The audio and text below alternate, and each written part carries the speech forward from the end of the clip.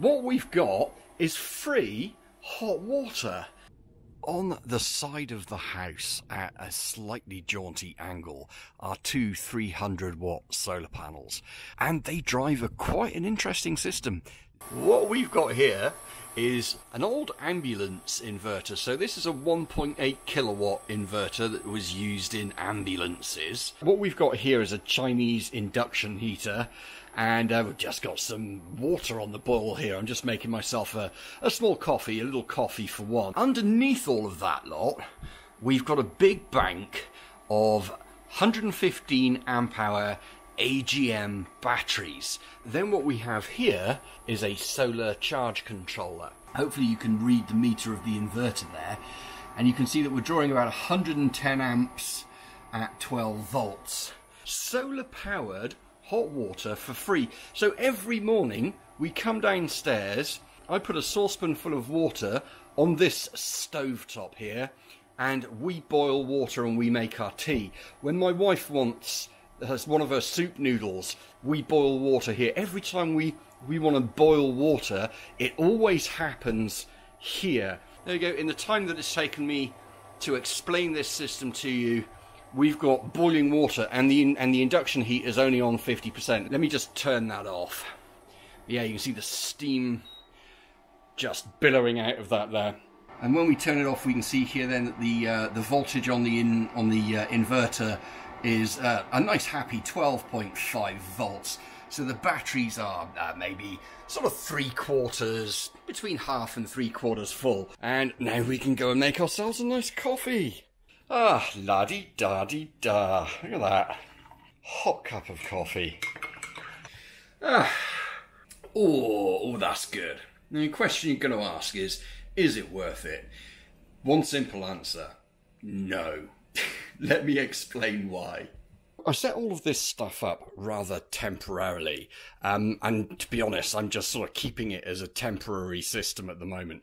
Uh, but it does need to look a little bit prettier than it does at the moment. Uh, I think the inverter cost me second hand maybe 50 or 60 quid. Over here we've got one, two, three, four rather large Halfords 115 amp hour batteries. The thing, and and the key thing here is is the wiring up of all of these batteries also costs quite a bit of money as well, because the cable that you need for this is quite expensive, but I found a little, a sort of a little trick, if you like. I ended up buying some jump leads with thick cables and used that to wire all of these batteries up. And we need them all wired in parallel, 12 volts, so that the, the inverter runs at the correct voltage because the inverter is 12 volts.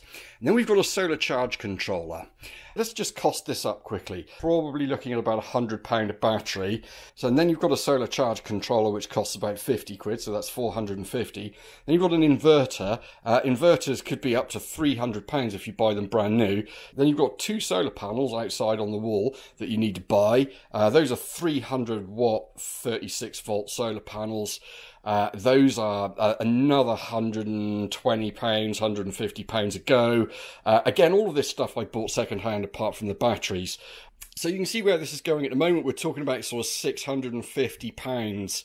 Uh, oh, oh, oh, oh! Of course, of course, we've forgotten, which is hidden under here. We've forgotten the Chinese induction hob as well. Uh, that's about another fifty pounds. So let's call. Oh, wow, this is going to cost you in the region of seven hundred pounds to build with new parts. If you're lucky like me and you know a few people, you can get some of these parts a little bit cheaper. What's the payback going to be on this? So just for fun. I typed into Google how much does it cost to boil a kettle. 6.8p to boil a full kettle.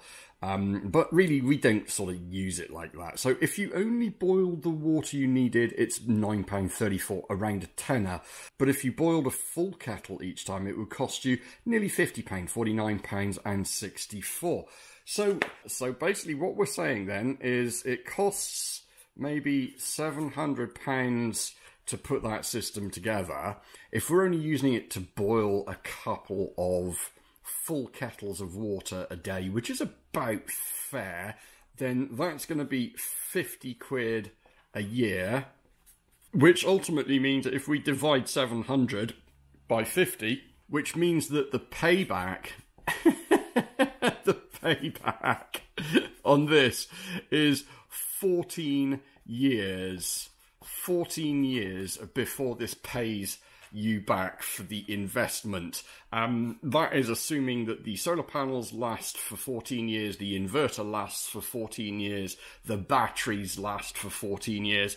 It's sort of, uh, this is the reason why I said it doesn't make sense to do it.